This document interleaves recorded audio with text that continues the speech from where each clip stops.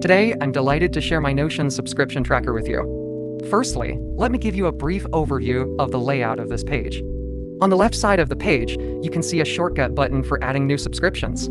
This button allows us to quickly add new subscriptions, providing invaluable convenience on mobile apps. Below that, there's an upcoming renewal section, displaying subscription renewals for the next seven days, serving as a constant reminder of upcoming subscription cycles.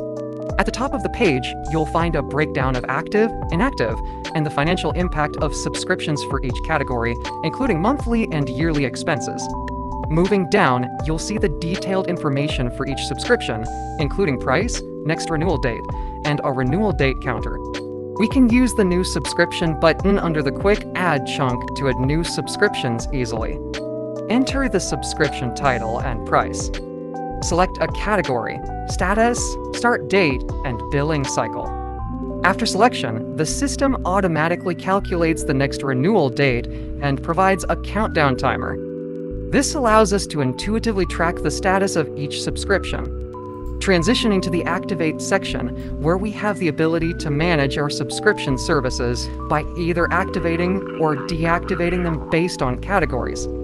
Proceeding to the Active subscription chunk, where only the subscriptions that have been activated are showcased, categorized for easy reference. We can visit this chunk at any time to modify the price, start date, and billing cycle. In the billing cycle selection, you can choose between monthly or yearly payments, and the system will automatically calculate the next renewal date for the subscription.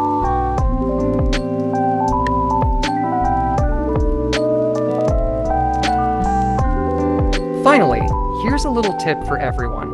You can add the upcoming renewal module to your Notion homepage or any frequently visited page. This way, you'll never miss the renewal dates for your subscriptions again.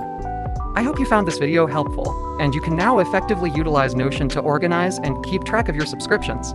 Feel free to download the Notion template provided below to kickstart your journey immediately.